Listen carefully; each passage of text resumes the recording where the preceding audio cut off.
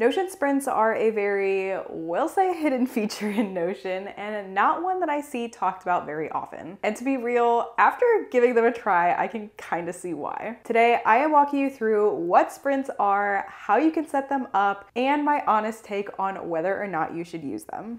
So what exactly are sprints? Sprints are essentially a group of tasks that you want to complete within a specified time frame. Personally, I would think of these as projects, but Notion suggests creating projects separately so that you can organize your sprints to complete multiple tasks across multiple projects. So before I jump into how sprints work, I want to first show you how to set them up. To get started with Notion sprints, you first have to have a task database. Now, this means you actually have a task database that you have converted into what Notion knows as a task database. This means it's going to show up in your Notion homepage. And if you come into your settings here, you can verify that by going all the way down to more settings right here and double checking if it says turn into task database or undo task database. If it's an undo, you've already got it set up, so you're good to go. If you still need to turn it into a task database, I go over this in my video all about Notion Home and how to get that set up. So be sure to check that out to get yours set up. Now, once we have created that task database, we now get the option for sprints here. So what we can do to turn on sprints is go ahead and click this button and it's going to give you a little bit of information about what it's going to do for you. And then you can click turn on sprints.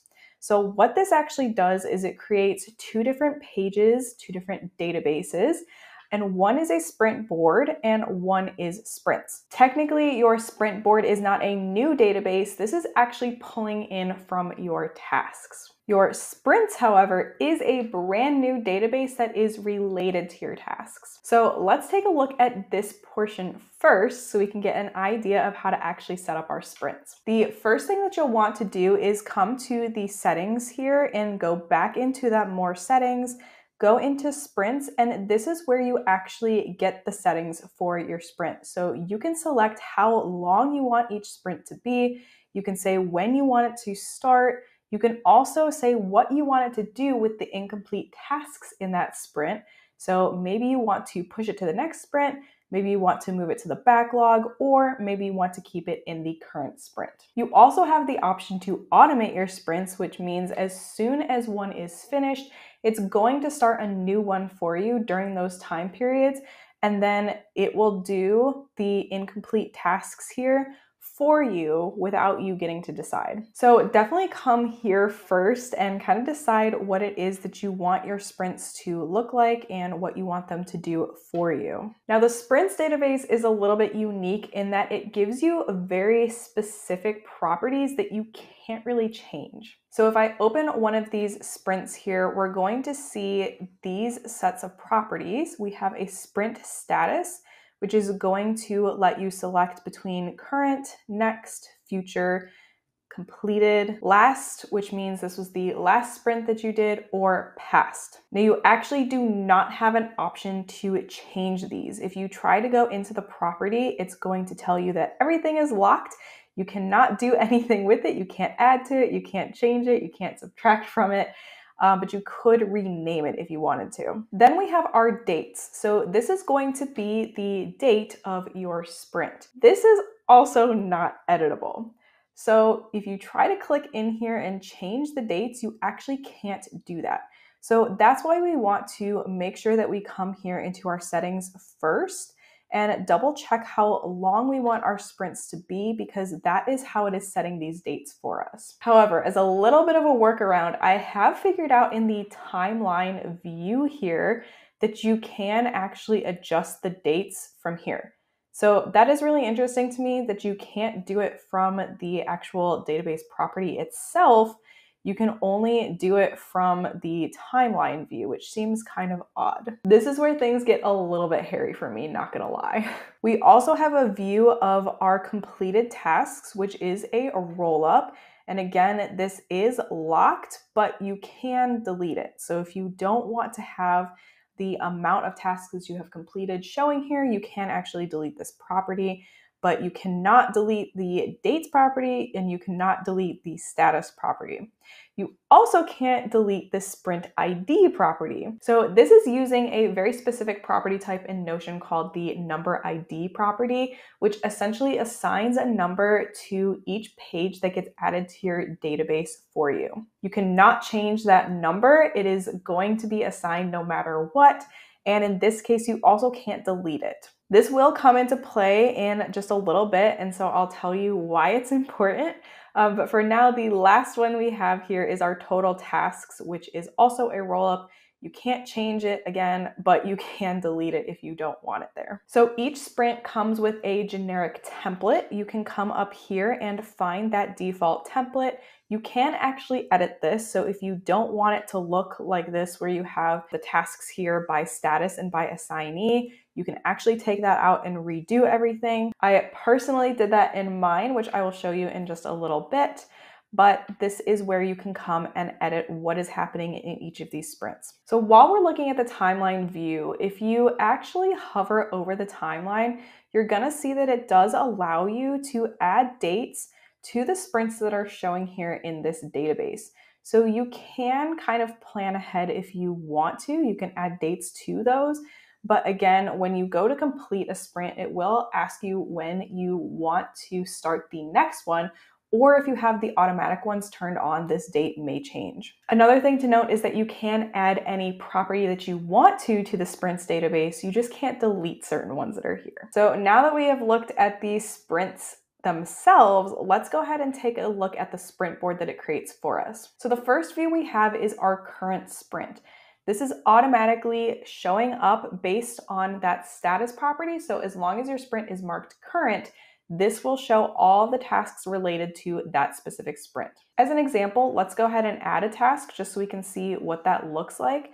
This can be our example task, and since we are in our current sprint, it should automatically connect that for us and we can add any other task information that we want to here as well. And now up here where it says complete sprint, we can see that we have zero out of one tasks completed. And if we kind of work it through the line here, once we have actually completed it, it will show that our tasks are finished. The sprint planning tab is going to show you what is going on in each of your sprints. Currently, this is filtered to show all of the tasks that are not complete, and since we just marked that other one complete, it's not actually showing. I'm gonna change that filter just so we can see, but in our current sprint, we have one task that is done right now. It will also show us the next sprint, the last sprint, and then our backlog, meaning these are tasks that don't have any sprints connected to them. And we can also see a separate view of just the backlog here. So again, these are all of the tasks that don't have sprints connected to them. So if we come back to our current sprint and we go ahead and say that we want to complete it, it is now going to give us a nice little summary of our sprint. It'll tell us the tasks that we were able to complete during this time. We can also see what the next sprint is going to be, and then we can adjust these start and end dates if we want to. So there is an option here to kind of change that around if you want, but it's going to go ahead and pull the two weeks because right now that's how we have our sprint set. So now if I go ahead and say complete sprint one, it is now going to update to sprint two. And if we go to our sprints database here, we will see our sprints just as we had before, except sprint two is now current, sprint three is next, sprint four is future, and then sprint one is now last. So essentially what happens with this little protocol is that it changes the current one to whatever you had set as next and then it creates one for you in the future. You can kind of plan ahead though. You don't have to wait for it to create one for you. If you plan your sprints ahead, what it will actually look at is this sprint ID number that we were talking about before. So that's how it decides what is going to be the next one up and it kind of cycles through that way. So as long as you're being intentional about the order in which you add your sprints in here, this cycle actually isn't super terrible. However, it's not super flexible and I kind of need that flexibility. So I'm not a huge fan of this myself. And there is one more thing you should know is that you can only have one sprint at a time, as you can see with that status situation that's happening. There is only one current and there is only one that's going to be up next. Sprints were something that I knew Notion had, but honestly, I just never got around to trying them out and playing with them. I decided to give them a go because I am chronically bad about starting multiple different projects at a time, so I wanted to try to slow myself down and only work on one at a time. So I gave them a try in my workspace to essentially replace my projects database, and here's what I came up with. Now, I am going to be honest with you, I am very aware that this is not how Notion necessarily meant for sprints to be used, and that is very clear to me because I think there are some issues with the way this is set up. But I'm going to show you what I tried anyway because I do think it is interesting. So here is my projects page now. I essentially just switched out my projects database, my previous one, with the sprints one that it created for me. And then I went ahead and customize these views just a little bit to try to make them work a little bit more for what I wanted to see. So this was the sprints database here. I went ahead and just renamed everything I possibly could to projects so that it wasn't using sprints it's just not my favorite word, and I use projects, so I was trying to make it work for that. But there are still a couple things that say sprint on them, so I can't get away from it completely. I have my timeline view here that is going to show my last, my current, and my next projects, and I have added dates to them here as much as I possibly could. Then I have my current and up next view, so this is going to show the current project that I'm working on and the next one. This is all I can get to show here because again, we can only have one current and only have one next. Then I have my future projects here, and this is showing all of the projects that I have marked as future. A lot of these were actually things that I was currently working on or things I wanted to have up next when I had my old database going. But part of what I was trying to do here was make sure I wasn't putting my fingers into multiple different projects. And so here we are. But I do think that that is a limitation with this, and I would like to be able to have multiple projects going on. Mostly so that if I have team members that are working on other things, I can have those simultaneously going in the background. For example, this is one that I was personally not working on, and so now I kind of have to wait until it comes around versus having somebody else working on that for me. Then I have the table view of all of my projects so I can see what is going on. I added a proposed dates property in attempt to kind of try to plan out things a little bit farther ahead since I can't actually edit the dates property from here, which is frustrating. And I also added a link to my goals so I could keep track of which project went with which goal like I did before. Inside each of my projects, I actually changed the template so it looks exactly like my projects did previously where I have all of my action items and overview and resources and all that kind of stuff. So for the most part, I was able to transfer all of that over okay. However, the number ID situation is really getting to me because I had a plan of what projects I wanted to do in what order, but then when they got added in, they were assigned a specific number.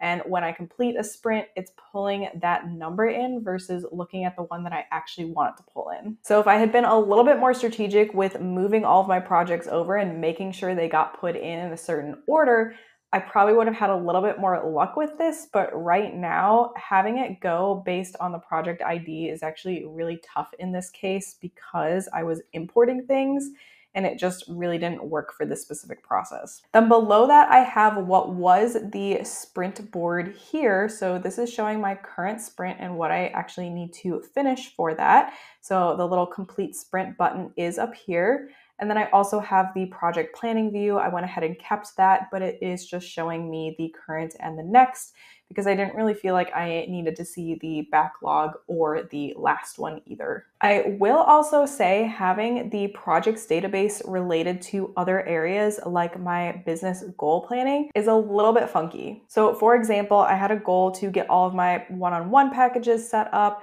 And as you can see, there were a couple of different projects that went along with that. And with the way that the relation to the sprints board works, there is actually a button here to move to the backlog. And if I press that button, I'm not going to right now, um, but if I press that button, it actually removes those projects from the relation here.